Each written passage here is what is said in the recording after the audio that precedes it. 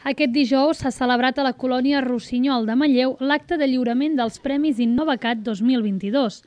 Aquest any, fins a 34 empreses s'han presentat aquests guardons que premien a les empreses joves de menys de 5 anys amb 12.000 euros i a les empreses més consolidades amb 20.000 euros.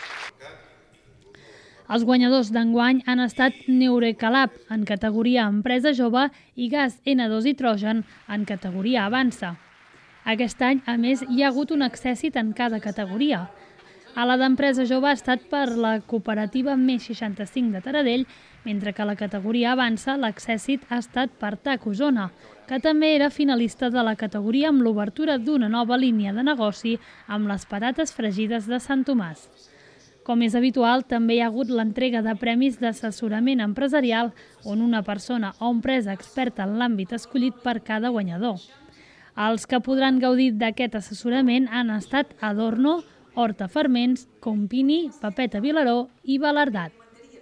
La gala d'aquest any ha estat conduïda per Cristina Puig i, a diferència d'anys anteriors, els presents han pogut gaudir d'un col·loqui i debat amb Joan Font, director general del grup Bonpreu, Geni Roca, president de la Fundació Puntcat, i Elisenda Terrats, professora, investigadora i coordinadora de la Unitat d'Emprenedoria de la Universitat de Vic UCC.